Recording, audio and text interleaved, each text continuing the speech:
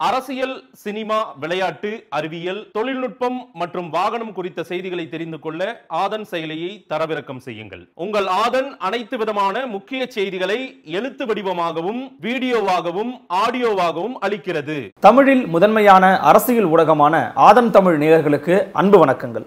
இன்று நம்முடைய ஆதன் தமிழின் கொடிப்பறக்குது சிறப்பு நேர்காணல் பகுதி இணைந்திருக்கிறார் திராவிட இயக்க ஆய்வாளர் அரசியல் திறனாய்வாளர் மதிப்பிற்குரிய திரு. துரை கருணா அவர்கள். வாருங்கள் அவரோட ஒரு சிறப்பு நேர்காணல் ஐயா வணக்கம். வணக்கம் சகோதரன் எப்படி இருக்கீங்க? நலமா இருக்கேன். நம்ம ஆதன் தமிழின் குடிப்பறக்குது நிகழ்ச்சியில் கிட்டத்தட்ட ஒரு தொடர்னே சொல்லலாம். என்ன தொடர் அப்படின்னு பார்த்தீங்கன்னா உள்ளாட்சி தேர்தல் தொடர்பாக நீங்கள் வந்து பேச இருக்கிறீங்க. ஏற்கனவே நீங்கள் இரண்டாயிரத்தி இருபத்தி ஓராம் சட்டமன்ற தேர்தலின் போதும் சரி இடைத்தேர்தலின் போதும் சரி ஒவ்வொரு தொகுதி வாரியாக உங்களுடைய கருத்துக்களை பகிர்ந்திருந்தீங்க. சாதக பாதங்கள் கட்சி ரீதியாக நீங்கள் நிறைய அனலைஸ் பண்ணி சொல்லியிருந்தீங்க. ஸோ அதை ஒட்டியே நம்ம இந்த முறை இரண்டாயிரத்தி இருபத்தி ஓராம் ஆண்டிற்கான இந்த உள்ளாட்சி தேர்தலையும் உங்கள்கிட்ட நிறைய விஷயங்களை கேட்டு பெறவிருக்கிறோம். நம்ம அதற்குள்ளாக ஒன்பது மாவட்டத்தை பற்றி நீங்கள் வந்து விலாவரியா மக்களுக்கு சொல்ல இருக்கிறீங்க கட்சிகளுடைய சாதக பாதங்களை பற்றி பேச இருக்கிறீங்க. அதற்கு முன்னதாக உள்ளாட்சி தேர்தல் அப்படின்னா இன்னைக்கு நிறைய இளைஞர்களுக்கு கூட மேபி அவேர்னஸ் இல்லாமல் இருக்கலாம். ஸோ ஒரு திராவிட ஆய்வாளர் மற்றும் வெகு காலமாக களத்தில் இருக்கிற ஒரு பத்திரிகை அப்படிங்கிற அடிப்படையில் உள்ளாட்சி தேர்தல் எவ்வளவு முக்கியத்துவம் வாய்ந்துன்னு நினைக்கிறீங்க சார் உள்ளாட்சி அமைப்புகள் இருக்குது. இதுதான் ஜனநாயகத்தினுடைய ஆணிவேர் அடித்தளம்.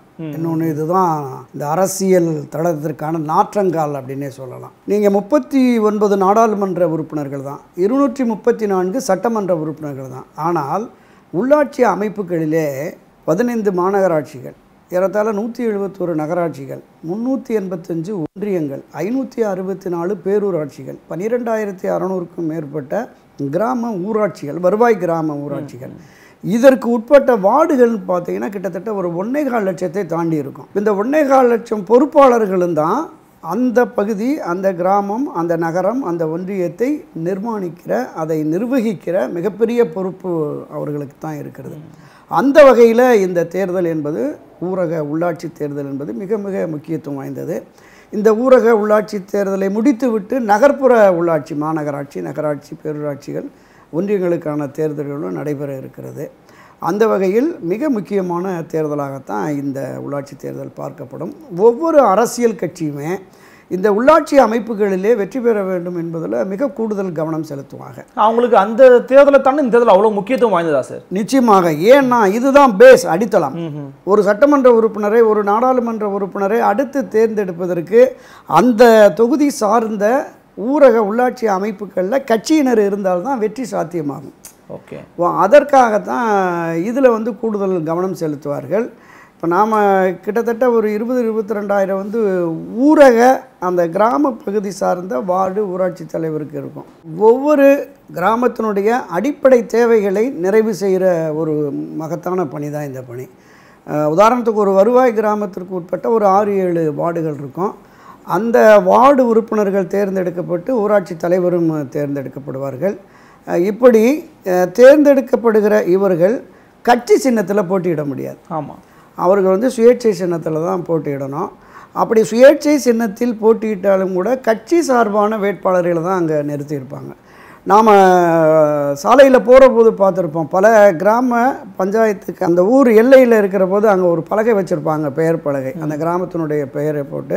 அதில் ஊராட்சி தலைவர் ஊராட்சி துணைத் தலைவர். அந்த ரெண்டு பேர் பேர் அந்த பார்த்தாலே நமக்கு இவங்க எந்த கட்சின்னு தெரிஞ்சிடும் ஓகே. திராவிட முன்னேற்ற கழகத்துடைய கருப்பு சிவப்பு எழுத்தில் தான் ஊராட்சி தலைவர் பெயர் துணைத் தலைவர் பெயர் இருக்கும்.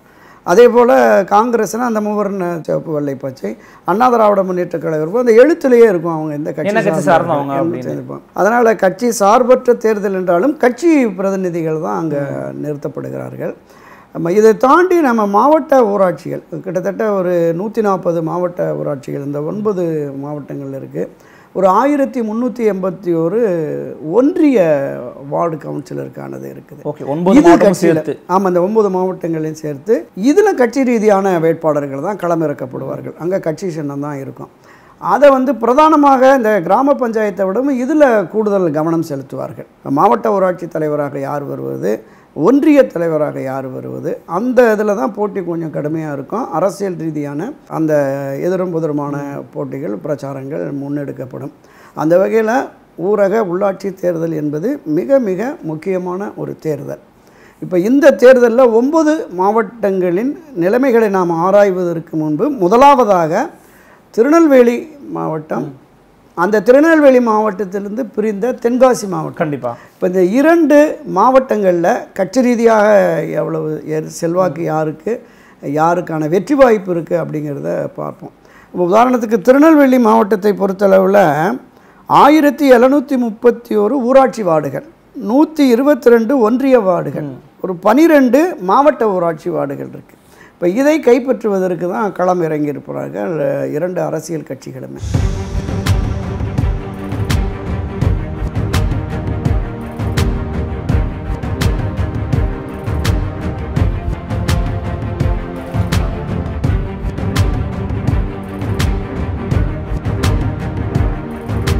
ஆட்சி கட்சியாக இருக்கிற திராவிட முன்னேற்றக் கழகம் ஊரக உள்ளாட்சி அமைப்புகளில் ஒரு மகத்தான வெற்றியை பெற்றால் தான் இது ஆட்சிக்கான அங்கீகாரமாக மக்கள் கொடுத்த அங்கீகாரமாக கருதப்படும் என்கிற அளவில் அவங்க தீவிரமாக களமிறங்குறாங்க. அவருடைய அமைச்சர்கள் தலைமை கழக நிர்வாகிகள் அந்த பகுதியைச் சேர்ந்த மாவட்ட ஒன்றிய நிர்வாகிகள்லாம் பொறுப்பாளர்களாய் போட்டு களமிறக்கி இருக்கிறாங்க. இப்போ இந்த திருநெல்வேலி மாவட்டத்தை பொறுத்தளவில் கடந்து நடைபெற்று முடிந்த சட்டமன்ற தேர்தல் இருக்குல்ல அதில் வந்து அந்த ஐந்து சட்டமன்ற தொகுதிகள் அதில் மூன்று தொகுதிகளில் திராவிட முன்னேற்றக் கழகம் வெற்றி பெற்றிருக்கிறது. இரண்டு தொகுதிகளில் அண்ணா திராவிட முன்னேற்றக் கழகம் வெற்றி பெற்றிருக்கிறது. எப்போவுமே ஒரு ஆட்சி கட்சி வருகிற பொழுது அந்த ஆளுங்கட்சிக்கு சாதகமான அம்சங்கள் தான் மாவட்டங்களில் நிலவும். சரி. இப்போ அந்த பகுதி மக்களுமே ஆளுங்கட்சிக்கு ஆதரவான நிலைப்பாட்டை எடுத்து ஆளுங்கட்சி வேட்பாளரை நாம் வெற்றி பெறச் செய்தால் நமக்கு இந்த ஆட்சி கட்சியின் மூலமாக ஒரு பெரிய அளவில் ஆதாயங்கள் திட்டங்கள் விஷயங்கள் திட்டங்கள்லாம் ஈஸியா கிடைக்கும்னு நினைப்பாங்க. கிடைக்கும் அப்படிங்கிற மாதிரியான ஒரு பார்வை இருக்கும்.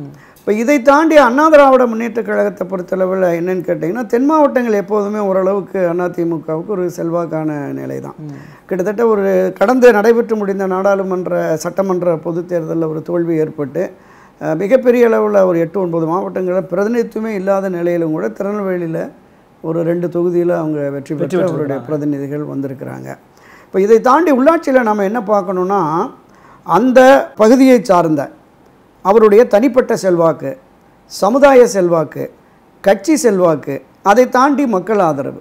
இப்படி பார்க்கிற பொழுது அந்தந்த பகுதிகளில் உள்ள முக்கிய பிரமுகர்கள் இப்போ கிராம ஊராட்சி என்று எடுத்துக்கொண்டோம் என்றால் அந்த ஊராட்சிக்கு உட்பட்டவர்கள் அந்த மக்களிடம் எப்படி பழகுகிறார்கள் அவருடைய சமுதாய செல்வாக்கு அந்த ஊரில் எந்த அளவுக்கு இருக்கிறது?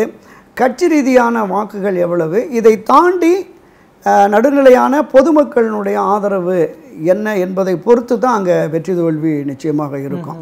இப்போ என்னை பொறுத்தளவில் திருநெல்வேலி மாவட்டத்தை பொறுத்தளவு திமுகவும் அண்ணா திமுகவும் மிக தீவிரமாக களம் இறங்கி இருக்கிறது.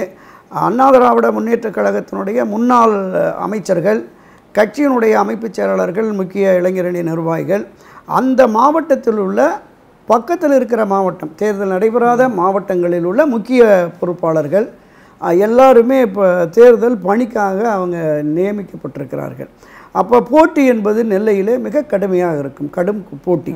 நான் குறிப்பிட்டது மாதிரி சட்டமன்ற தேர்தலில் மூன்று இரண்டு என்கிற அளவில் தான் வெற்றி அவங்களுக்கு இருந்திருக்கு.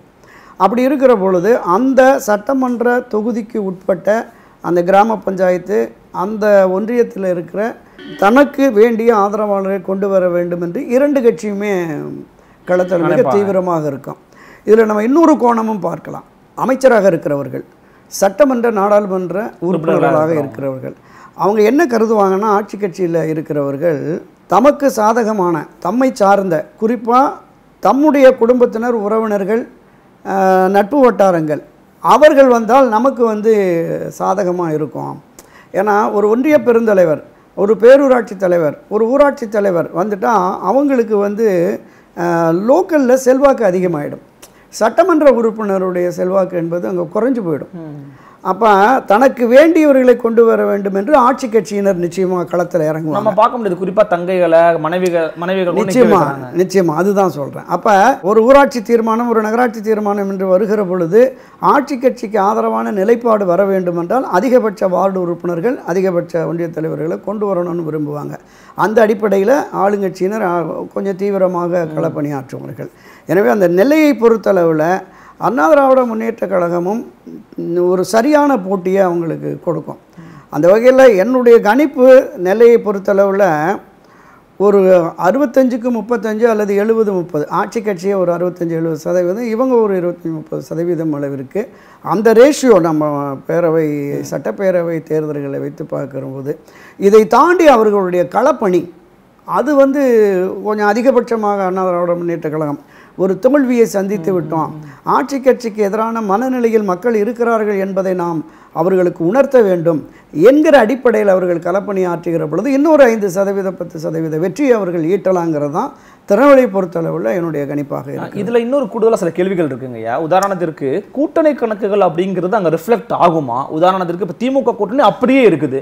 யாரும் விலகி செல்லல எல்லாருமே ஒண்ணா தான் இருக்கிறாங்க.